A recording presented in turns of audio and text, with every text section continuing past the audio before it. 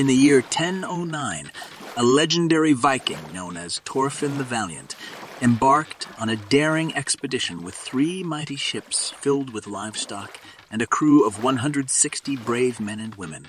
One account even claimed the number of settlers to be 250. At the outset, harmony was forged between the intrepid Norsemen and the indigenous people of the land. They engaged in a trade, swapping furs and gray squirrel skins for vibrant red cloth, which the natives donned as striking headdresses. Yet, as with many tales of adventure, tranquility would soon be challenged by unforeseen strife between the two groups. One account speaks of a rampaging bull from the Vikings' ranks terrorizing the natives, who reacted by fleeing to their boats and returning later with a fierce host of warriors. Alternatively, the Vikings unknowingly offering milk to the Native Americans, unaware of their lactose intolerance. This innocent gesture was misconstrued as an act of malevolence, sparking a fiery clash of cultures. The Skraelings, as the Vikings called the natives, suddenly attacked the Viking camp after what had happened a few days earlier. They had a pole that produced sound when waved in the air, and Thorfinn's men got scared. They fled while feeling surrounded by the natives on all sides. In the midst of this turmoil, a pregnant and courageous woman named Freydis Eriksdottir emerged as a beacon of valor. When Freydis saw the men running, she watched them in disbelief as they were running away without a fight. Heavily pregnant, Freydis was unable to follow the men and shouted to them, Why are you running away from these pitiful wretches? Given what fine fellows you are, I would have thought you could knock them down like cattle. And if only I had weapons, I believe I could fight better than any of you. When faced with the impending danger closing in on her, Freydis exhibited a daring act of defiance. Snatching a sword from a fallen Viking, she stood boldly before the oncoming natives, baring her breasts and striking her chest with the flat of the blade, emitting a fierce cry that pierced the air. This act of defiance mirrored an ancient ritual seen in the tribes described by the Roman writer Tacitus in Germania. The women, in a display of courage and power, would bare their breasts and wave them, suggesting that the men who faltered were no more than infants in need of his mother's boobs. In the face of Freydis's undaunted display, the natives were taken aback, possibly fearful, shocked, or maybe even impressed. Whatever the case, they retreated, giving way to a stunning triumph for the bold and fearless Freydis.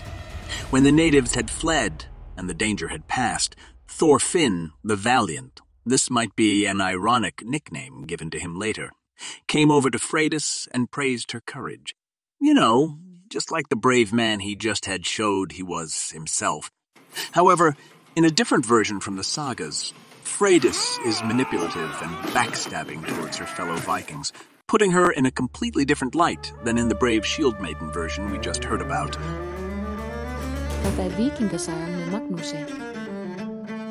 But before we begin, please like and subscribe. It really helps the channel a lot, and blah blah blah blah. Let's get to it. According to the Icelandic sagas, the Norse started to explore lands to the west of Greenland, only a few years after their Greenland settlements were established. In 985, the merchant Bjarni Herjolfsson was blown off course while sailing from Iceland to Greenland with a migration fleet consisting of 700 settlers and 25 other ships. However, only 14 ships survived the journey, and after three days of sailing, they sighted land west of the fleet. They didn't go ashore and sailed back to Greenland.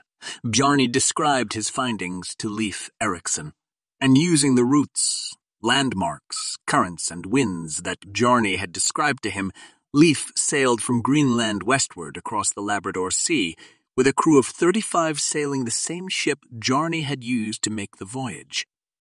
Leif and others had wanted his father, Eric the Red, to lead this expedition.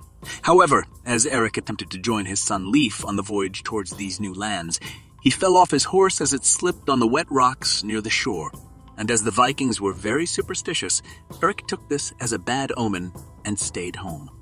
When Leif Erikson glimpsed his first sight of America, he described Helluland as level and wooded, with broad white beaches wherever they went, and a gently sloping shoreline. They soon went ashore to explore Newfoundland. It didn't take long before they met the Native Americans. The first meeting with the Native Americans must have been a cultural shock. The natives were friendly, even though they had very different cultures and were technologically different. The Native Americans had never seen people with beards before, since they themselves could not grow one. Their clothes were also different, as the Vikings' clothes were made of wool, and the Native Americans had clothes made of animal skin. Their hair and eyes also had different colors. The Native Americans were also very curious about the iron the Vikings had, but the Vikings didn't share with them the technology on how to make iron, or jern in Old Norse. However, it seems that there was cultural exchange between the two people in different ways. Leif Erikson wintered in America in 1001, probably near Cape Bauld on the northern tip of Newfoundland. One day, his foster father Tirk was found drunk on what the saga describes as wineberries, which grew wild in the area. There are varying explanations for Leif apparently describing fermented berries as wine, making some historians believe that this was what named the land Vinland. However, the view most historians have now is that it comes from the Norse Vin, which means something like grassland. Leif spent another winter there without conflict and sailed back to Greenland, concluding that the land didn't have what he wanted. But in 1004, Leif's brother, Thorvald Eriksson, sailed with a crew of 30 men to Vinland and spent the following winter at Leif's camp in Leifsbuin. The sagas have some different details about the events that followed. In Eric, the Red Saga, Thorvald was killed by one of the natives when he was hit by an arrow, and he died from this wound shortly afterwards. In the Gronlendinga saga, they winter in Leifsbuin in Vinland without meeting any natives. When spring comes, they find three leather canoes with three native men in each. According to the saga, they kill them all without the saga explaining why. All but one is killed, and he manages to escape. A while later, the natives return with a larger number and shoot arrows, whereupon the Vikings flee. Later, when in safety, Torvald asked his men if anyone was wounded. They said they had not received any wounds. Thorvald then says, I've got a wound under my arm, and this will probably lead to death for me. Something it soon did. Torvald was buried sometime around 1006. He's the first European to be killed by Native Americans and buried in America. 1009, Freydis Eric's Daughter, the other story. In the other saga about Freydis, she is portrayed very differently than as the sword-wielding shield maiden she was in the first. In this story, she is manipulative, ruthless, and brutal. Here, Freydis Eriksdatter visits Helgi and Finnbog and proposes a journey to Vinland, saying, For it is an expedition that will prove to be easy to gain wealth and honor from. They make an agreement to split the profits equally and bring an equal number of men with them. The saga narrates that even at this point, Freydis' treachery is evident as she takes more men with her than agreed upon. They set sail together, but the brothers' ship arrived first. When Freydis arrives, the others are already unloading their cargo in Leif's booths in Vinland, which angers Freydis. A dispute develops, which ends with the others then carry out their possessions and build a separate shelter. Later, more conflict arises between the two groups, and in the middle of winter, Freydis approaches Finnbog with a peace offering, which he accepts. However, when she returns to her husband, Torvald, she has a completely different story to tell and says to him, They struck me and treated me badly. But you wretch, I assume you won't avenge my shame or your own. I will leave you if you don't take revenge for this. Infuriated, Torvard takes up his weapons, and they kill all the men in the other group, but spares the five women whom he could not kill. Unimpressed, Freydis demands. Give me an axe. She then proceeds to hack to death all the five women who were there, leaving them massacred before she walked away. This is the last mention in the sagas of the Vikings in America. However, clues to a continuation of the tours include the Maine penny, a Norwegian coin from Olaf Kyrre's reign from 1067 to 1093, which was found in a Native American archaeological site in the United States. This indicates an exchange between the Norse and American indigenous peoples in the late or after the 1000s. In 1121, Icelandic Bishop Eric Gnupsson, who who had been based on Greenland since 1112, went to seek Vinland. Nothing more is reported of him, but three years later, another bishop, Arnold, was sent to Greenland to replace him. In 1347, a ship is reported to have arrived in Iceland after being blown off course on its way home from Markland to Greenland with a load of timber. The implication is that the Greenlanders had continued to use Markland as a source of timber over several centuries. When the Viking Greenland settlement was abandoned in the 15th century due to climate change, the Viking trips to America also ended.